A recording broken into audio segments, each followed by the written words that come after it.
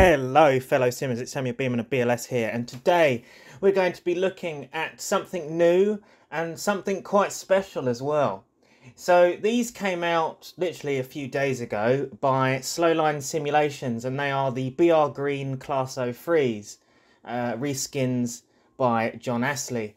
And it's sort of a collab with um, Matthew Wilson of Vulcan Productions as well, as I know that he's been uh, heavily involved on assets of this as well.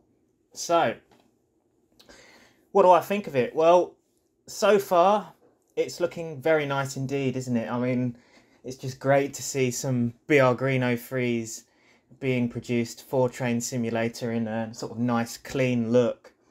Uh, so, yeah, let's just, just take a look around them, I suppose. So, here we have the plain green 03 with the shed plate. Now, these are child object shed plates, they can be changeable. So obviously that's there says 83D. The one over here says 52A. So they can be changed, which is obviously depending on the um, the member of the class that you are uh, you are using. So this is uh, D2183. It's built 1961 Swindon. I, I think again this is probably I think is another object. Uh, let's check the other one and see if yeah, see, that's 1960 Swindon and that's 1961. So oh, these are also changeable as well. And also, obviously, the numbers, again, are changeable as well. And yeah, so it's um, apparently it's, it's 4, 4K texturing. Uh, so it's a very, very good quality reskin. Uh, we have the fantastic British Railways logo. Now that is just absolutely stunning, isn't it? So this is the uh, British Railways Late Crest produced by Matthew Wilson of Vulcan Productions. Uh, if you don't know, this first appeared on the Class 40 that SLS were doing. The uh, D213 reskin pack uh, in Andania, which isn't isn't released yet, but um, this first appeared and it was first announced on that particular reskin and it was it was announced in Railsim Users group I believe. But yeah it was just showing off just the detail of this and it's it's without a doubt the most detailed and high quality crest that we have in Train Simulator at the moment. So yeah I don't think you can get a lot better than that. So well done uh, Mr Wilson on that. You've done such a fabulous job on recreating that late crest grand job indeed. Uh, but it, the, the reskin as a whole does look very nice. It has been captured well. The green looks pretty much spot on, to be honest. Um, it's a very nice green. It's not too green. It's it's it's the sort of perfect sort of dark green that you get on these these engines. Uh, got a nice clean buffer beam there. So a disclaimer, this is using the West Somerset Diesels Class 03, which comes with the West Somerset Diesels pack. Uh, so moving over to the Wasp Stripe version of the 03. Very nice, isn't it? And we've got the, um, that's drawn on with precision, to be honest. There's not, I can't see any um, sort of you know, any bleeds or something. I mean, we've got a slight thing around here, but then that's just round the bolt. That doesn't bother me at all. Uh, to be honest, that's probably like that in real life. In all honesty, it doesn't, doesn't bother me. But we've got, you know, very thin and and I say very carefully drawn lining. I must admit, it's fantastic. Um, yeah, we have um, obviously we've got the red rods as per the other one which are nicely drawn on there. Slight hint of weathering as well, and that's great because obviously the underframe would be slightly more dirty than the body because obviously under here is where all the oily substance go. Yeah, it does look very cool, doesn't it? Oh, we've got some green um, pipes here. I mean, are these meant to be green or are they meant to be a different colour? Uh, let me know on that, uh, John. Um, are they meant to be green or are they meant to be a slightly different colour than that. Yeah, I am not too sure. It's same with these as well. Um, no, wait, these are black. That's, that's, that's all right, to be honest. Uh, but yeah, um, like I say, wasp stripes very nicely placed on it. It's it is very nice, isn't it? Let's be honest. I think are they 3D? They are indeed. Look at that. Shed plates are 3D.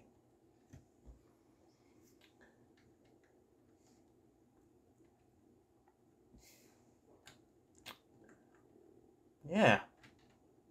Very nice indeed. So these are the ones that have the lamps. So they have sort of lamps on the side and they can also be scripted. So you can you've got like number keys and they can they can be put on the front of the loco i'll show you that when we start moving. Uh, and these ones don't have the lamps. These just have uh, operatable lights via the keys. They don't have the lamps on the side as you can see. That's the only difference between these to the other reskins so yeah again shed plates are different uh, and builders plates are different as well as well as the numbers and yeah, it's just it's brilliant, really, isn't it? It really is. They've both done a good job on these skins.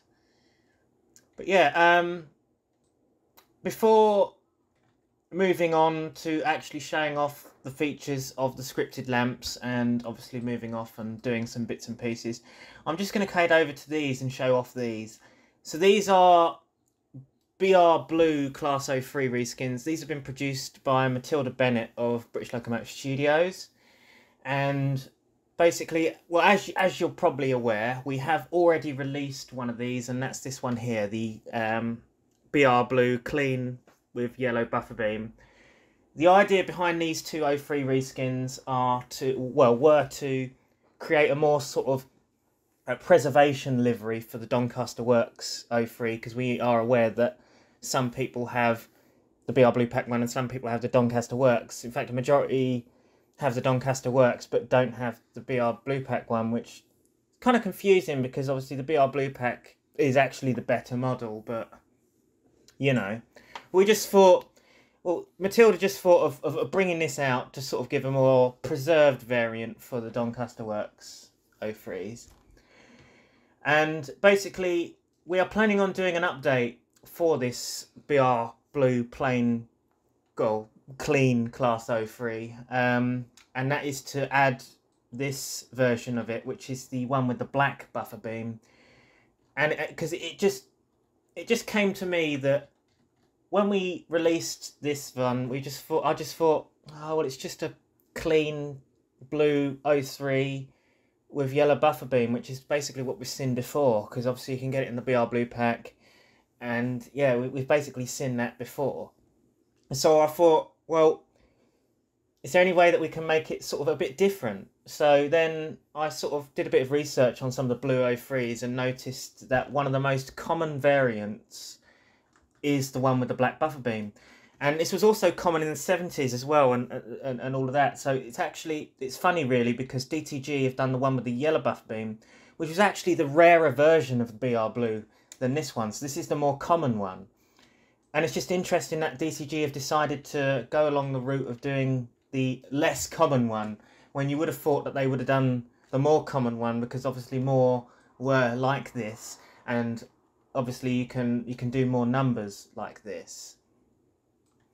So yeah, with these you can sort of depict the, the preserved ones such as, you know, the Epping Ongar ones which I've done here. So we've got 03119 and then we've got 03170. Both of these are preserved at the um, Epping Ongar. One of them does have the yellow buffers and the other one has the black buffers. But yeah, it's I think it's it's a really nice reskin. I think she's done a fantastic job on creating these into into Train Simulator, and and I'm looking forward to updating it to have both of the Blue 03s in in in, in the pack really. Um, I know that SLS and John Astley are planning on doing blue 03s as well to, to sort of, you know, as similar to what they've done with the green 03s. But I would imagine that they're probably going to use the modern, more updated BR Blue Pack Class 03 for them. Um, just at a guess, because obviously, you know, they would they would want the more up to date one to do all the bells and whistles to. But I mean, for what you get with these, you know, for the Doncaster Works one, these are brilliant looking reskins, and I can't knock them. She has done such a grand job on it, and I was really impressed when looking at it. I was, you know, when when I first thought, I thought, oh, it's just another Blue 03. No, it's really not just another Blue 03. That the blue is spot on. It's nice and clean. There's a few bits of weathering here and there, which is, is, is a bit authentic, really, and it's great to see. And yeah, it's just, it's lovely. Uh, um, it's is a really nice bit of kit. So, you know, if anyone wants some clean blue O3s for their Doncaster Works O3s, head over to the BLS website. Although I'll recommend waiting until the update comes along so you can get the black one as well. So you get two in one, you know, kind of thing, instead of having to re-download it to get it. But yeah, anyway, forgetting those now, because we have we've we've covered those, we're going to move back on to what we are basically the, the you know the purpose of this video is, and that is to review the SLS Class O3s.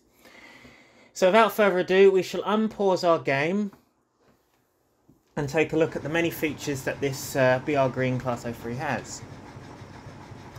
So, let's sort of scroll through the lamp options. So obviously, it's control 1, 2, 3 and 4, I believe, for the front. So we're going to control 1 it, see we've got one light there. Control 2, it's got the other light. 3, 4, there we go. We can also change these to red. There we go and then we can also change them to lamps as well if we so choose. And then we can also change those to red lamps if we so choose. And obviously you know these these options I, I believe the back end is probably control 7 8 and 9 let's check it out. So 6 7 8 9 okay it's not doing 9 for some reason. I don't know why that is Oh, it's five. Sorry. My bad. Silly me. Yeah, look at all these lamps. And it also takes them off the side of the um, of the engine as well, as you can see. So the ones that are on the side are no longer on the side. Which is it's, it's kind of cool, isn't it, really? Anyway, um, so we shall remove all of these because they're just getting in the way now, aren't they? Okay. There we are, that's those done. Oh, yes, that's those done. There we go. So yeah, um, one thing I will say about it though is that um, it would have been nice to maybe perhaps just have one or two lamps on the side here. I know that they did it back in the day. They put lamps on here, you know, especially when shunting.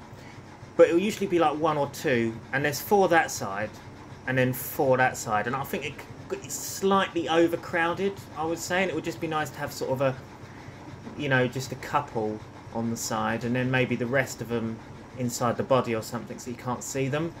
Because uh, obviously, I know they have to be on the model in order for them to show up on the front or the back. But I just think that it would be a bit more tidy if there was only a couple on here at a time, sort of thing. But that's just my opinion anyway. But it's a fantastic little feature, and I, I it's, it's really good to have it on it. Um, one other source of criticism I have for this, which I noticed, is the cab. Now, it's it's nice, it's good, it's all it's all here and present. The only thing is, we still have the faded, weathered roof of the basically default green West Somerset 03. And obviously, if we press 8, as you can see, we have the clean roof on the top there. It would be nice if the if the cab bonnet was actually reskinned to the actual livery. But then, to be fair, it's green, and at least it's green because if it's if it was blue or something, then that that would irritate somebody a little bit more. You know what I mean? At least it's green. But it would be nice also if it was actually you know reskinned properly. But to be honest, they are my only gripes and gears with it. There's not really much in the means of gripes and gears I do have with this. I do really like them, and it's, it's, it's nice to have some green O3s in the game.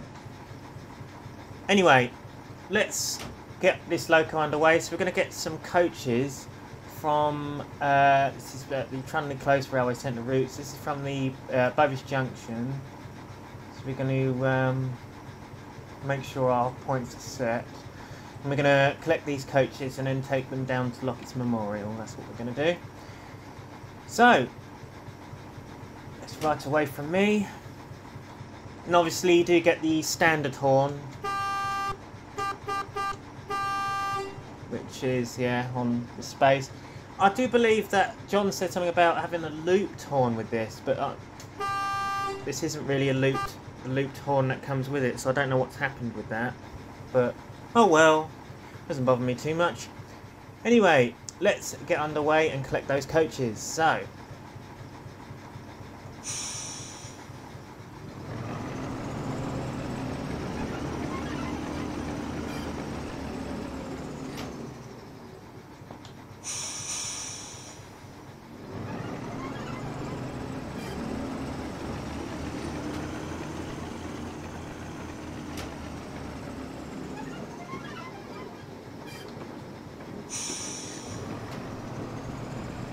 to be fair, the default sounds on this ain't bad at all, really.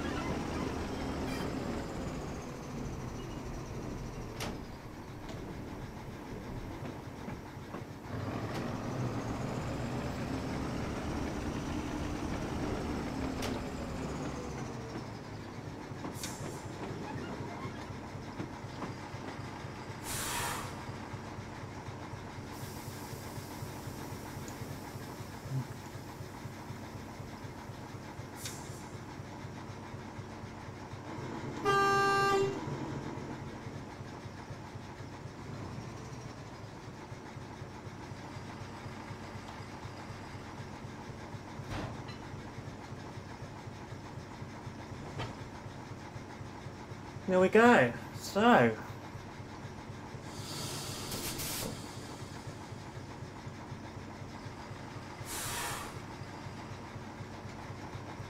Ah yes, look, we've got our little window hang view, look at that. Bit of O3 froth. okay, right. Make sure our points are set. Yeah, we're going to go straight through Fisherman's Help and head down to Memorial. So we are, we're all pretty much there, ready to go. But we obviously still have our signal at danger for some reason. Don't know why that is, but there you go. That's where line signals for you.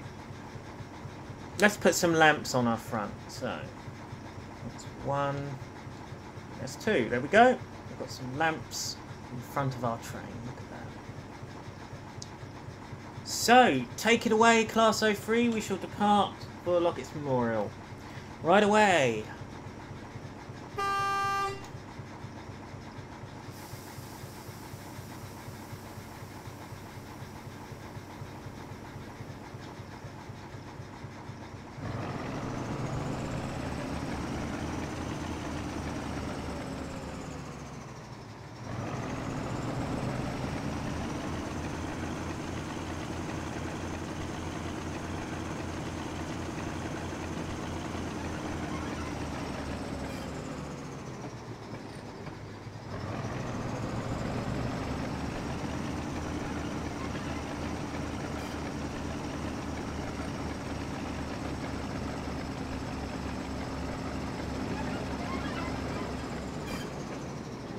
Got all these O3s, look.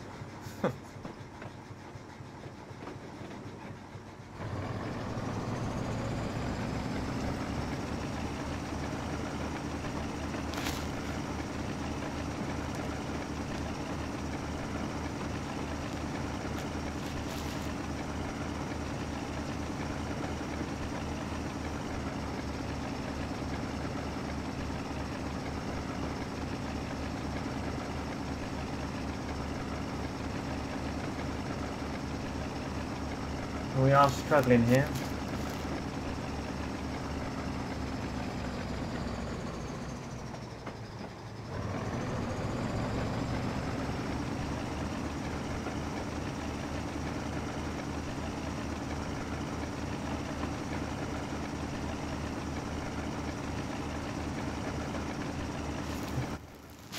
No free shouldn't really struggle on four carriages.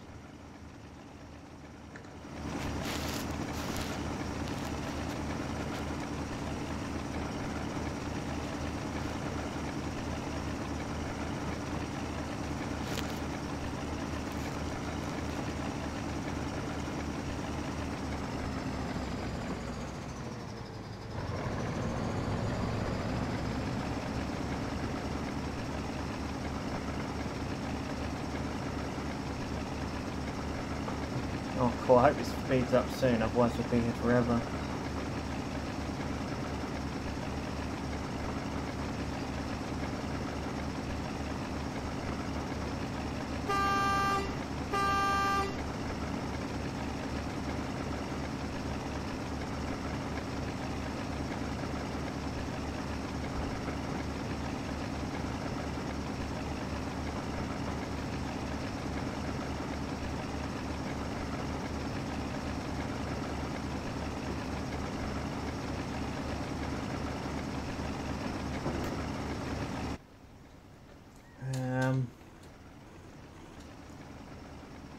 Oh yeah, look at that. That's cool, doesn't it? We get some nice photos here.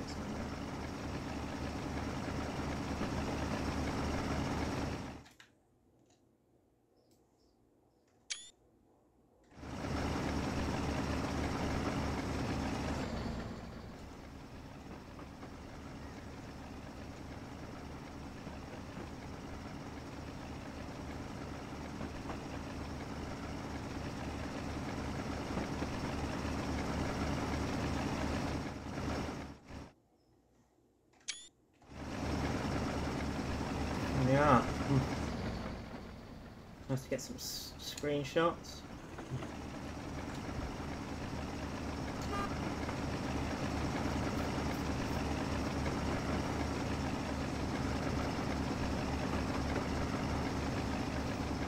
Oh my god, it's so slow! Why is it so slow? It's supposed to be going like 28 miles an hour by now. handbrake or something? No, see, that's putting it on then.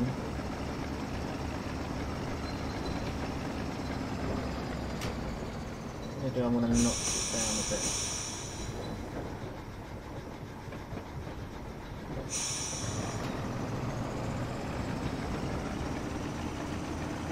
Yeah, see, that's made it even worse. Why is it struggling on four coaches? That's just, that, that shouldn't happen.